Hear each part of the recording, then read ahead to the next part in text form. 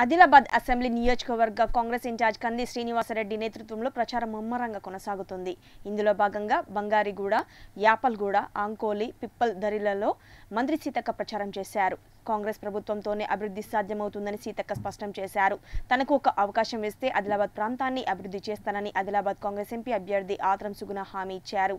ఈ కార్యక్రమంలో నాయకులు కార్యకర్తలు స్థానికులు పాల్గొన్నారు.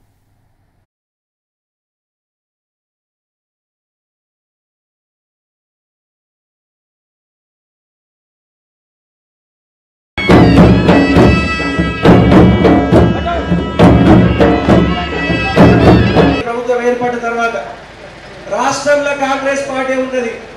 కేంద్రంలో కూడా కాంగ్రెస్ పార్టీ వచ్చిందే ఇప్పుడు రాహుల్ గాంధీ గారు ప్రధానమంత్రి అయితే మనకి దాదాపుగా ప్రజలందరికీ కూడా అనేక రకాల మేలు జరుగుతుంది. మన ఆదిలాబాద్కి సిమెంట్ ఫ్యాక్టరీ కాంగ్రెస్ పార్టీ కావాలన్నా నియామకాలు కావాలన్నా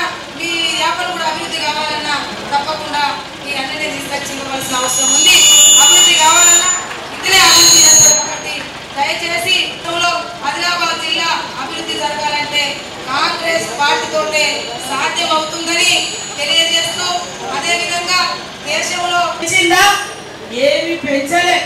కానీ పదేళ్ళ కింద కాంగ్రెస్ ఉన్నప్పుడు మూడు వందల యాభై నాలుగు వందల నాలుగు వందల యాభై దాకా గ్యాస్ సిలిండర్ ఇచ్చినాం. దేనికి పెంచింది బీజేపీ? కాంగ్రెస్ నాలుగు వందల ఐదు వందలకి ఇచ్చిన సిలిండర్ను పన్నెండు వందలకు మాత్రం పెంచింది. ప్రజల కష్టానికి మాత్రం రేటు పెంచలే. మరి ఎట్లా ఓట్లేసిరో ఈ ఊరు